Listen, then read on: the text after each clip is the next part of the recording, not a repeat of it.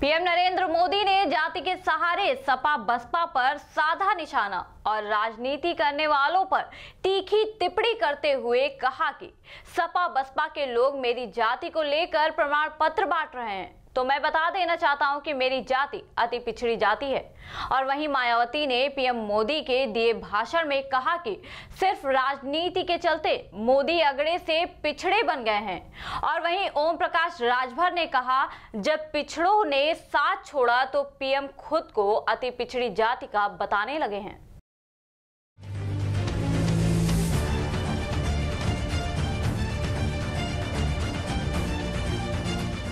PM Modi ने सीतापुर, हरदोई और कन्नौज की रैलियों में मायावती, अखिलेश और कांग्रेस पर जमकर हमला बोला।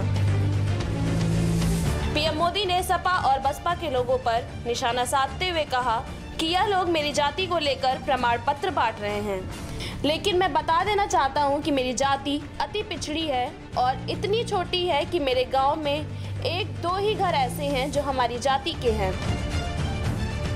मैं बहुत ही सामान्य समाज से आता हूँ लेकिन ये अति पिछड़ा ही देश को आगे ले जाएगा।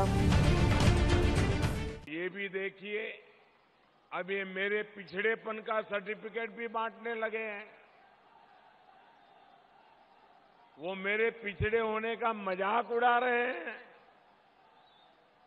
साथियों, हर चुनाव में इन लोगों का जब पराजय सामने दिखने लगता है तो ये खेल शुरू हो जाता है।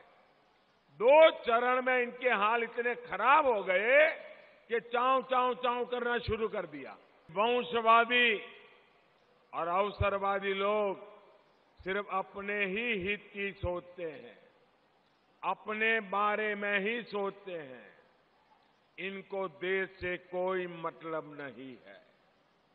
आज अगर इनके अस्तित्व पर संकट है ये मोदी के कारण नहीं है, इनके अपने कारनामों के कारण है।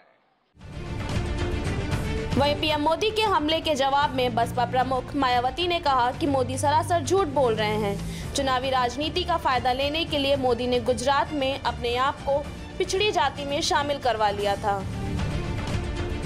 मायावती ने कहा, राजनीति लाभ पाने के लिए मोदी ने जात पात का दाव खेला है और मोदी जन्म जात से पिछड़े नहीं हैं। वो सिर्फ़ अपने शरारती अंदाज में लोगों को बेवकूफ़ बना रहे हैं। और कभी भी मैंने या अखिलेश ने पीएम मोदी को नीच नहीं कहा। हमने पूरी इज़्ज़त और सम्मान के साथ उन्हें ऊँची जात का बताया है। नरेंद्र मोदी पहले अगड़ी जाति में ही आते थे। यानी कि अपर कास्ट समाज में ही आते थे। लेकिन गुजरात में अपनी सरकार के चलते हुए, फिर इन्होंने अपने राजनीतिक लाभ के लिए व पिछड़ों का भी हक मारने के लिए अपनी अगड़ी जाति को ही वहाँ पिछड़े वर्ग में शामिल करवा लिया था। तो फिर इसमें हमने इनकी जाति के बारे में यह क्या गलत बोल दिया है कि ये, यानी कि श्री नरेंद्र मोदी श्री मुलायम सिंह यादव व इनके बेटे श्री अखिलेश यादव की तरह जन्मजात पिछड़े वर्ग के नहीं हैं। अगर देखा जाए तो सियासत वो रसगुल्ला है, जिसकी मिठास एक दूसरे की तीखी टिप्पणी करने के बाद ही पूरी तरह मीठी हो जाती है। जिसकी मिठास कोई नेता छोड़ना नहीं चाहता। रसगुल्ला तो रसगुल्ला। राजनीति में बचा हुआ शीरा भी कभी कभी इस राजनीति में काम आ जाता है। Bureau report, prime TV.